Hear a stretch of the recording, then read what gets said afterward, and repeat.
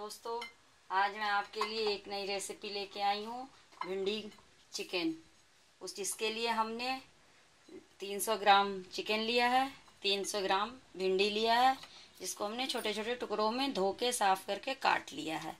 और मसाले में हमने लाल मिर्च, धनिया, हल्दी पाउडर और दो प्याज हमने पीस लिए हैं।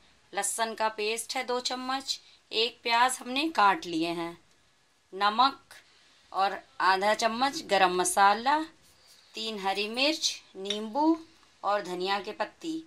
आप चाहे तो हरी मिर्च ज़्यादा भी ले सकते हैं और कुछ पानी की ज़रूरत पड़ेगी और ऑयल है। अब हम पैन गरम करेंगे और हम भिंडी, सबसे पहले भिंडी को फ्राई करेंगे। दो चम्मच हम ऑयल डालेंगे और भिंडी फ्राई करेंगे।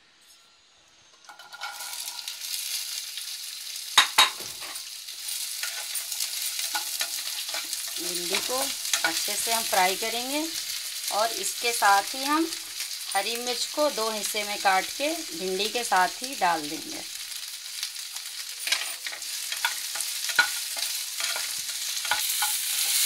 भिंडी को हम सौटे कर रहे हैं।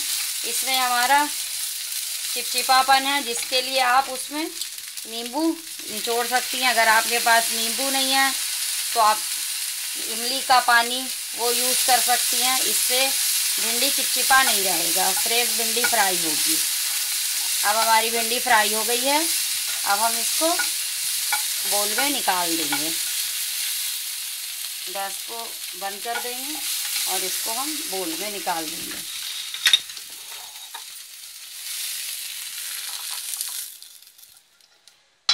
फिर से हम गैस ऑन करेंगे और तीन से चार स्पून हम ऑयल डालेंगे।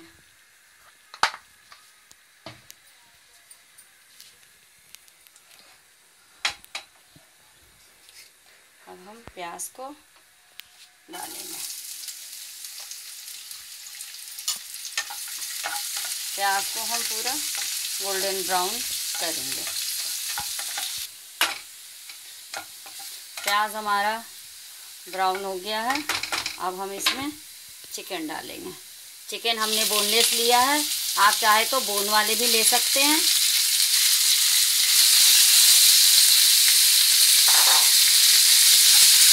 इसको हम कलर चेंज होने, चिकन का कलर चेंज होने तक फ्राई करेंगे। साथ में हम लहसुन का पेस्ट डाल देंगे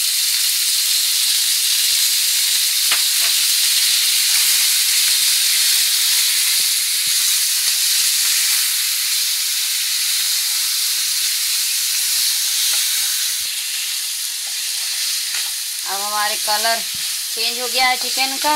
अब हम इसमें मसाला डालेंगे। हमने दो चम्मच धनिया लिया है। एक चम्मच लाल मिर्च है।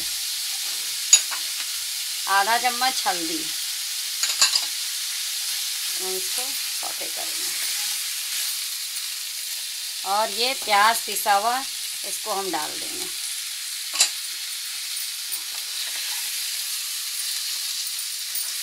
और इसको अच्छे से हम मिक्स करेंगे।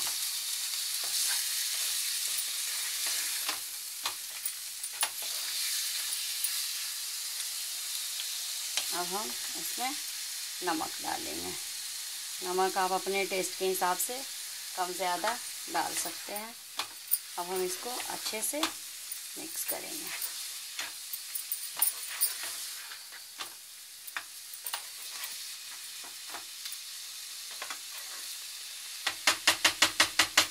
अब हम इसमें थोड़ा पानी डाल के हमारे मसाले अच्छे से मिक्स हो जाए और हम इसको लीड लगा देंगे। इसको हम लीड लगा देंगे और पाँच मिनट छोड़ देंगे। चिकन हमारा हो गया है, अब हम भिंडी डालेंगे।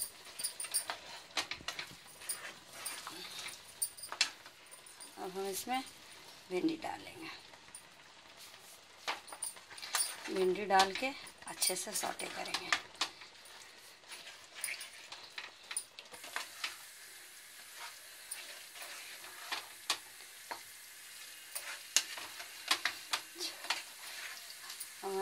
अब हम इसमें गरम मसाला डालेंगे। इसको मीडियम आँच पे करेंगे और सूखी रखेंगे। इसलिए हम इसे दो मिनट के लिए फिर से लीड लगाएँगे कि हमारी भिंडी गल जाए। फिर चला के फिर हम लीड लगाएँगे। और दो मिनट हो गया है। और इसे फिर से चलाएँगे।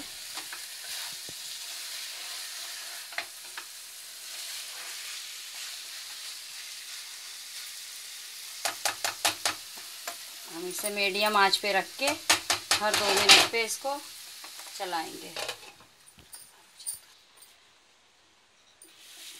हमारी भिंडी बिल्कुल बन के तैयार हो गई है हम गैस बंद कर देंगे। ये सूखी बिल्कुल बनी है और अब हम इसको सर्व करेंगे।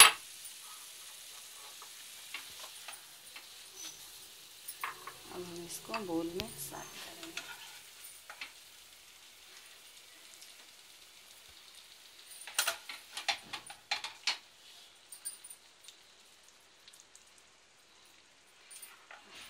इसको हरा धनिया से हम डेकोरेट करेंगे। आप देख सकते हैं, हमारी भिंडी बिल्कुल तैयार है।